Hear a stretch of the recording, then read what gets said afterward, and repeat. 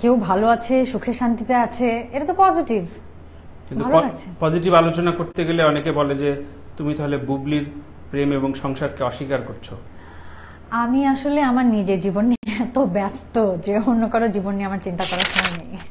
সুপারস্টারের সংজ্ঞা আসলে যাকে অনেক দিন ধরে যুগ যুগ ধরে মানুষ মনে রাখে তার কাজ পছন্দ করে যে কোনো জেনারেশনের মানুষই তার কাজ দেখতে পছন্দ করে। এটাই আসলে সুপারস্টার আমার মতে।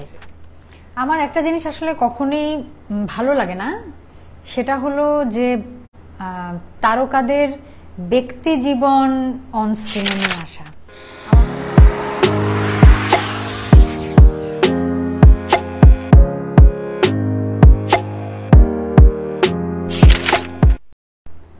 দর্শক, কোলাহল লাইভে এখন দেখতে পাচ্ছেন লাকসুন্দরী চিত্রনায়িকা প্রযোজক পরিচালক কুসুম শিকদারকে। কুসুম শিকদার কেমন আছো? ভালো আছে আলহামদুলিল্লাহ। কেমন আছেন? খুব ভালো। সুরঙ্গ প্রিয়তমা দুটো নাকি পাইরেসি হয়েছে এবং পাইরেটেড কপি নাকি তারকারা বেশি দেখছে? তুমি কোন কপি দেখছ? আমি এখনও কোনোটাই আমি আসলে দুঃখিত কোনোটা দেখা হয়নি আমার। হলে গিয়ে দেখনি? না দেখা হয়নি।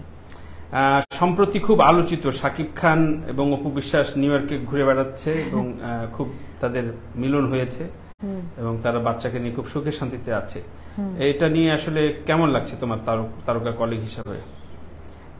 কেউ ভালো আছে সুখে শান্তিতে আছে এটা তো পজিটিভ কিন্তু। পজিটিভ আলোচনা করতে গেলে অনেকে বলে যে তুমি তাহলে বুবলির প্রেম এবং সংসারকে অস্বীকার করছ। আমি আসলে আমার নিজের জীবন নিয়ে এত ব্যস্ত যে অন্য কারও জীবন নিয়ে আমার চিন্তা করার সময় নেই। কুসুম শিকদার, সম্প্রতি জায়েদ খান নিউ ইয়র্কে অ্যাওয়ার্ড পেয়েছে এবং এটাকে বলা হচ্ছে যে জাতিসংঘের অ্যাওয়ার্ড পেয়েছে। পরবর্তীতে আসলো যে জাতিসংঘের একটি হল রুমে অ্যাওয়ার্ড হয়েছে। তো তারকা হিসাবে এই স্বীকৃতিকে তোমার ফেসবুকেও দেখলাম না বা তারকা কেউই অ্যাপ্রিসিয়েট করল না। কেন? তোমরা এত কৃপণ কেন? আমি অন্যান্যদের কথা বলতে পারব না। আমি নিজে খুব লো প্রোফাইল থাকি। আমার ফেসবুকে আমি নিজেও খুব কম অ্যাক্টিভ সো অন্য কারও কিছু শেয়ার করার তো প্রশ্নই আসে না। কুসুম শিকদার, সম্প্রতি দৈনিক আনন্দবাজারে অনলাইন ভার্সনে একটি ইন্টারভিউতে নিশো বলেছেন যে, টিভি তারকা থেকে একমাত্র তিনি চলচ্চিত্রে সফল হয়েছেন। এর আগে কেউই এই পর্যায়ে এই বৈতরণী বার করতে পারেননি। আমরা জানি কুসুম শিকদারের ক্যারিয়ারও টিভি থেকেই শুরু এবং এর বাইরে অনেক বর্ণাঢ্য তারকারা রয়েছেন তারকাদের ক্যারিয়ার রয়েছে। তোমার কাছে এই বক্তব্যকে কি মনে হয়? ও যা বলেছে ও হয়তো চিন্তা করেই বলেছে ওর পয়েন্ট অফ ভিউ থেকে হয়তো ও সঠিক। আমি এ ব্যাপারে কি বলতে পারব? কিছু বলতে পারব না। অনেকেই বলেন যে ক্যারিয়ারে বা জীবনে অনেক বড় প্রাপ্তি হয়ে গেলে একটা আলসেমি ধরে এবং সেই অভিযোগের ক্ষেত্রে বলা হয় যে ন্যাশনাল অ্যাওয়ার্ড পাবার পর কুসুম শিকদার ভীষণ রকম উদাসীন হয়ে গেছে তার ক্যারিয়ারে, কারণ সবকিছু পাওয়া হয়ে গেছে তার। না, এটা ভুল। আমি সবসময় ক্যারিয়ারের প্রথম থেকে খুবই সিলেক্টিভ ছিলাম। সব কাজ করিনি। আমার কাজের সংখ্যা আমার কোয়ার্টিস্টের তুলনায় সবসময় কম। সেই ধারাবাহিকতাই আমি বজায় রেখেছি। হ্যাঁ মাঝে আমি ন্যাশনাল অ্যাওয়ার্ড পেয়েছি, আলহামদুলিল্লাহ। তার মানে এই না যে আমি কাজের সংখ্যা বাড়িয়ে দিব, আমি ধারাবাহিকতা বজায় রেখেছি, কাজ কম করছি। বলা হয় যে কুসুম শিকদারের অনেক টাকা এবং খুবই ধনী তারকা বলেই খুব কম বেছে বেছে কাজ করতে পারে। ব্যাপারটা কতটুকু সত্য এবং প্রেক্ষাপট কি এমনই হয়? কাজ কাজ করে পারিশ্রমিক আমি অবশ্যই নিয়েছি, নিব। যেহেতু আমি প্রফেশনালি কাজটা করেছি। সুতরাং এর সঙ্গে আমার ব্যক্তিগত জীবনে টাকা আছে না টাকা নাই, না অন্যান্য কি অবস্থা, কি স্টেটাস ফিনান্সিয়াল বা এনিথিং সেগুলো আসে না। আমি আমার কাজটাকে, আমি অভিনয়কে, আমি আমার ইন্ডাস্ট্রিকে ভালোবাসি। ভালোবাসাটাই, প্রেমটাই গুরুত্বপূর্ণ। ফেসবুক আইডি হ্যাক হয়ে গেলে তারকা সহ যে কোনো ফেসবুক আইডি ইউজার খুবই শঙ্কায় পড়ে, তারকারা বেশি পড়ে। এর কারণ কি বলে মনে করো? ইনবক্সে অনেক গোপন তথ্য থাকে বলে? আমার তো অ্যাডমিন সবকিছু দেখে সো আমার ওরকম গোপন কিছুই নেই, আমার ভয় পাওয়ার কিছুই নেই। হ্যাঁ আমার মায়া আছে, অনেক ছবি আছে, অনেক স্মৃতি আছে, কষ্ট লাগবে বাট ওরকম কিছু নেই যে আমি খুব চিন্তায় পড়ে যাব। কুসুম শিকদার বিভিন্ন দেশে ঘুরেছে অনেক ফাইভ স্টার সেভেন স্টার হোটেলে থেকেছে। সাধারণ বাঙালিদের অভ্যাস যে ফাইভ স্টার সেভেন স্টার থেকে কিছু সুভিনির নিয়ে আসা সেটাকে কি চুরি মনে করে কিনা কিংবা তোয়ালে বা বিভিন্ন রকম সোপ কিট কুসুম শিকদার কোনোদিন এনেছে কিনা? হ্যাঁ। আরও একবার আসি আফরানিশোর ইন্টারভিউ প্রসঙ্গে। সে সুপারস্টার প্রসঙ্গে রাজ্জাক নায়করাজ রাজ্জাক বুলবুল আহমেদের পরে কোনো সুপারস্টার বাংলাদেশে নেই, এমনই ইঙ্গিত করেছেন। সুপারস্টারের সংজ্ঞা কি? প্রথম প্রশ্ন। দ্বিতীয় প্রশ্ন সত্যি কি এরপরে আর সুপারস্টার বাংলাদেশে আসেনি কিনা? সুপারস্টারের সংজ্ঞা আসলে যাকে অনেক দিন ধরে, যুগ যুগ ধরে মানুষ মনে রাখে, তার কাজ পছন্দ করে, যে কোনো জেনারেশনের মানুষই তার কাজ দেখতে পছন্দ করে। এটাই আসলে সুপারস্টার আমার মতে। শাকিব খানের সর্বশেষ ছবি প্রিয়তমা খুবই আলোচিত হয়েছে, প্রশংসিত হয়েছে। কিন্তু অনেকেরই আক্ষেপ আমরাও নিজেরা আলোচনা করেছি যে বাংলাদেশি নায়িকা নেই কেন? কুসুম শিকদারের মতো এত সুন্দরী চিত্রনায়িকা সহ আরও অনেক কলিগ রয়েছে কুসুম শিকদারের। তো এই বিষয়ে কি কোনো রকম মন খারাপের ব্যাখ্যা আছে কিনা কুসুম শিকদার বাংলাদেশি নায়িকা হিসাবে? না, এখন তো আসলে দুই বাংলা মিলিয়ে অনেক কাজ হচ্ছে। আমি নিজেও করেছি জয়েন্ট ভেঞ্চারের কাজ। তো ডিরেক্টর প্রডিউসার যদি মনে করে যে ঠিক আছে ওই আর্টিস্ট আমাদের লাগবে বা ক্যারেক্টারের জন্য ওই আর্টিস্টকেই প্রয়োজন তাহলে ইটস ওকে যে কোনো দেশ থেকেই হতে পারে।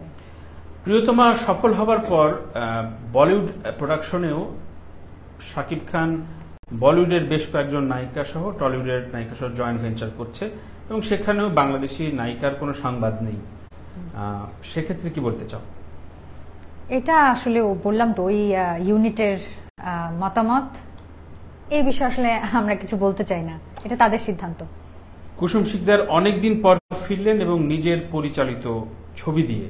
আমরা প্রায় সময় বলি যে, তারকারা যখন বই লেখেন তখন অন্য কেউ লিখে দেয়। তার সময় থাকে না বা তার হয়ে ওঠে না।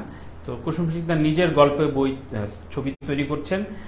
এই সংগ্রামটা কেমন? এবং অনেকে বলতেও পারেন যে ডিওপি নির্ভর পরিচালক হচ্ছেন, এটাও হয়তো শুনতে হবে। তোমার কোনো ব্যাখ্যা আছে কিনা এই বিষয়ে? যেহেতু আমি আপনি যে কথাটা বললেন, যে তারকারা নিজে লিখে না, অন্য কেউ লিখে দেয় এগুলোর কথা আমি যেহেতু ইন্ডাস্ট্রিতে অনেক বছর ধরে আছি, আমার আশপাশ দিয়ে আমি এরকম অনেক কথা শুনেছি বাট ফর্চুনেটলি লাকিলি আমাকে কখনো এরকম কেউ বলেনি, কারণ আমার সম্পর্কে মোরলেস আমার অডিয়েন্স আমার ফ্যান ফলোয়ার্স জানে যে আমি লাক্স চ্যাম্পিয়ন হওয়ার আগে থেকে মানে মিডিয়া আসার আগে থেকে লেখালেখি করি। সুতরাং আমার সম্পর্কে এরকম কথা আমিও শুনিনি, কেউ বলেও নি। আর ডিওপি নির্ভর ফিল্ম এটাও আমার মনে হয় কেউ বলবে না, কারণ আমি কি করেছি, বা আমার সঙ্গে একজন কো ডিরেক্টর আছে, সে কি করেছে বা ডিওপি করেছে, আমরা সবাই সবার জায়গায় পরিষ্কার। লাখ সুন্দরী কুসুম শিকদার নিজেকে বাদ রেখে লাখ সুন্দরীদের ভেতরে সবচেয়ে সুন্দরী কাকে মনে করে কুসুম শিকদার? সবাই সুন্দরী। লাক্স চ্যাম্পিয়ন হওয়া অনেক কঠিন একটা ব্যাপার। শুধু সুন- সৌন্দর্য এখানে গুরুত্বপূর্ণ না অনেক কিছু থাকতে হয় ইন্টেলিজেন্স থাকতে হয় প্রেজেন্টেবল হতে হয় অনেক কিছু লাগে। জেনারেল নলেজ অনেক ভালো হতে হয়। সবকিছু মিলিয়ে যারা যারা চ্যাম্পিয়ন হচ্ছে সবাই সেরা সবাই সেরা। কুসুম শিকদার সমসাময়িক অনেকেই চলচ্চিত্রে এসেছেন। কার ছবি দেখে মুগ্ধ হয়েছে? কার ভেতরে সম্ভাবনা দেখতে পাচ্ছ? বুঝিনি। সমসাময়িক? অনেকেই নতুন? নায়ক নতুন নায়িকা লঞ্চ হয়েছে হ্যাঁ। আমি নাম ধরে বলতে পারি সিয়াম হয়েছে আসছে শরীফুল রাজ এসছে আহ, এর ভেতরে অনেক নায়িকা জয়েন করেছে। তো এর ভেতরে কাদের ভেতরে সম্ভাবনা দেখতে পাবা? হলে গিয়ে কারটা দেখা হয়েছে? এখন অব্দি যেহেতু সুরঙ্গ প্রিয়তমা দেখা হয়নি এর আগে কোন ছবি দেখা হয়েছে? আসলে এখন ইয়াং জেনারেশনে যারা কাজ করছে, সবাই অনেক ব্রিলিয়ান্ট সবাই অনেক ধারণ মানে চরিত্রটা ধারণ করে কাজ করে কম্পিটিশন অনেক বেশি, সবাই ভালো। এখানে আমি মার্কিং করতে পারব না যে এ হয়তো বা একশোতে নব্বই বা একশোতে আশি, তা না। সবাই খুব ভালো কাজ করে ভালো কাজ করার তাড়না তাদের মধ্যে আছে, সবার মধ্যে। অতি সম্প্রতি না, গত দশ বছর ধরে তারকাদের ভেতরে সংসদ নির্বাচনে ম্যান্ডেট নেওয়ার ব্যাপারে একটা চূড়ান্ত প্রতিযোগিতা তৈরি দেখা যাচ্ছে। সেক্ষেত্রে কুসুম শিকদারের আগ্রহটা কেমন? কোনো নতুন পোস্টারে দেখা যাবে কিনা নির্বাচনের আগে? বা রাজনৈতিকভাবে সম্পৃক্ত হবার অভিপ্রায়টা কতটুকু? এই প্রবণতা কীভাবে দেখে? এই মুহূর্তে এটা আমি বলতে পারছি না, আমি যখন অভিনয়ে নিয়মিত করতাম, তখন অনেকে আমাকে জিজ্ঞেস করতো যে আমি পরিচালনা করতে চাই কিনা বা পরিচালনার সঙ্গে নিজেকে যুক্ত করতে চাই কিনা, তখন আমি আসলে উত্তর দিতে পারিনি। কিন্তু এখন কিন্তু আমি ঠিকই এই কাজটা করে ফেলেছি অলরেডি আল্লাহ রহমতে। সুতরাং আপনি যে প্রশ্নটা করলেন, রাজনীতির সঙ্গে আমি নিজেকে জড়িত করতে চাই কিনা, এই উত্তর আসলে এই মুহূর্তে এই সোফায় বসে আমি দিতে পারছি না। কুসুম শিকদার সর্বশেষ একটি নির্বাচন হয়ে গেল আমাদের চিত্রনায়ক ফারুক ভাই যে আসনে ছিলেন। এবং সেই আসনে মূলত প্রায় সময় শোনা যাচ্ছিল যে ফেরদুস ভাই মনোনয়ন পাবেন সেটা নিয়ে পোস্টারও হয়েছিল। বা আমাদের ভিতরে একটা স্বাভাবিক মনোনয়ন দেখা যাচ্ছিল যে এই তাকে দেয়া হোক। কিন্তু পরবর্তীতে সেটা হলো না। অথচ ওই দিকে খুবই আলোচিত বা সমালোচিত বা জাতিসংঘ পর্যন্ত যে আলোচনাটা গেল, হিরো আলমকে নিয়ে। হিরো আলমের এই ধরনের উত্থানকে তুমি কীভাবে দেখো? আসলে মানুষ নিজের চেষ্টায় যদি কিছু করে সফল হতে পারে বা সফলতার দিকে নিজেকে নিয়ে যেতে পারে এবং তাতে যদি কিছু পার্সেন্টেজ মানুষ সেটাকে গ্রহণযোগ্য মনে করে, তাহলে তাকে চেষ্টা করতে দেওয়া উচিত। কুসুম শিকদার কি মৌসুমী পরিচালক? অর্থাৎ এই শরতের জবার ছবিটির কত বছর পর আবার নতুন ছবি নিয়ে আসবে? কমিটমেন্ট রাখতে চাই। এটা এখনই আসলে বলতে পারছি না এটা অনেকখানি ডিপেন্ড করছে শরতের জবার উপর। আর আমি অভিনয় তো খুব আসলে রেগুলার না সময় নিশ্চয়ই লাগবে। শরতের জবা এবং কাস্টিং এর ক্ষেত্রে আমরা প্রায় সময় দেখি যে না যখন টিভি তারকা পরিচালনা প্রযোজনা আসে তখন টিভি আর্টিস্ট বা তাদের কলিগকে নেওয়া হয়। প্রচলিত অর্থে এফডিসি ঘরানার তারকা কম কেন কুসুমের ছবিতে? আমারটা আমি বলতে পারব আসলে যে আমি যাকে যাকে মনে করেছি যে চরিত্রের জন্য উপযুক্ত হবে, আমি তাকে তাকেই প্রস্তাব দিয়েছি এবং কেউই আসলে আমাকে রিফিউজ বা রিজেক্ট করেনি। সবাই কাজ করতে রাজি হয়েছে। আমি আমি ব্লেসড এখনকার চলচ্চিত্রে প্রচারণার ক্ষেত্রে একটা ফ্যান বেজের ভেতরে তর্কাতর্কি যুদ্ধ দেখা যায়। তো এবং এটিও নাকি ফেসবুকে খুব প্রয়োজনীয় বলে মনে হয়। এ ধরনের কোনো স্ট্র্যাটেজি বা স্টান্ট নেবার কোনো প্ল্যান আছে কিনা ছবি নিয়ে ছবি মুক্তির পরে ফেসবুকে বোধ হয় না বোধ হয় না। যদি আমার দর্শক আসলে পছন্দ করে আপনারা পছন্দ করেন তাহলেই চলবে। এই প্রশ্নটা এই কারণে করলাম গত ঈদে গেল ঈদে সাকিবিয়ান এবং বলা হচ্ছে নিশোয়ান যদিও নামটা নতুন এদের দুই গ্রুপের তুমুল দ্বন্দ্ব আমার মনে হয় কুসুম শিকদারও এটা চোখ এড়ায়নি। হ্যাঁ। এই প্রবণতা এই যুদ্ধ এই কাদা ছোড়াছুড়িটিকে কীভাবে ব্যাখ্যা করে কুসুম শিকদার? কীভাবে দেখছে? আমার একটা জিনিস আসলে কখনোই ভালো লাগে না সেটা হলো যে তারকাদের ব্যক্তি জীবন অন স্ক্রিনে নিয়ে আসা। আমার মনে হয় অভিনয় শিল্পীদেরকেই আসলে আমাদের শ্রোতা বা দর্শক ভালোবাসে তো। ব্যক্তি জীবনে কি হচ্ছে এটা হয়তো শ্রোতা, দর্শক জানতে চানও না, জানলে অনেক সময় পছন্দও করেন না। সুতরাং আমি আমি চাই না আসলে মানুষের ব্যক্তি জীবন নিয়ে টানা হাঁচড়া হোক, আমি এটা খুব অপছন্দ করি। কুসুম শিকদার যেহেতু সবিজে কাজ করে, সুতরাং পাবলিক ফিগার এবং সেক্ষেত্রে গণমাধ্যম বলি বা ডিজিটাল মাধ্যমে বিভিন্ন তারকার বাইরে বা সাধারণ সাধারণ দর্শকরা অনেক রকম মতামত দেয়, উপদেশও দিয়ে দেয় যে আপনার এটা করা উচিত, এটা করা উচিত না। তো এই ধরনের উপদেশ বা বিভিন্ন রকম ট্রল কীভাবে কুসুম শিকদার নেয়? আমি যে কোনো সমালোচনায় খুব পজিটিভলি নেই। আসলে নিজের কি খুঁত আছে সেটা অনেক সময় নিজে দেখা যায় না। অন্য কেউ বললেই সেটা হয়তো তখন চোখে পড়ে। সমালোচনা is a good thing no problem Kusum Sikdar নিজের সমালোচনা খুব সুন্দরভাবে নেয় কিন্তু পরিচিতদের ভেতরে যদি কেউ সমালোচনা করে ফেলে তখন তেড়ে আসে এ ধরনের একটা অভিযোগ রয়েছে। বা সে ধরনের কোন ধরনের অভিযোগকে রিসিভ করতে পারে না বা নিজের ব্যাখ্যা দিতে চায় এই ধরনের অভিযোগকে স্বীকার করে কিনা না সমালোচনা আমি পজিটিভলি নেই কিন্তু অভিযোগ যদি করে এবং সেটা যদি ভুল হয় আর আমার যদি খারাপ লাগে তাহলে আমি অবশ্যই সঠিক যেটা সেটা তাকে বোঝানোর বা জানানোর চেষ্টা করি। যদিও সব মাধ্যমে কম তারপরও বলি ওটিটি প্ল্যাটফর্মে কুসুম শিকদারের মতো অভিনেতা খুব প্রয়োজন কিন্তু সেখানেও একেবারে অনুপস্থিত কেন? ওই যে বললাম আমি তো আসলে শঙ্খচিলের পর কাজ করিনি।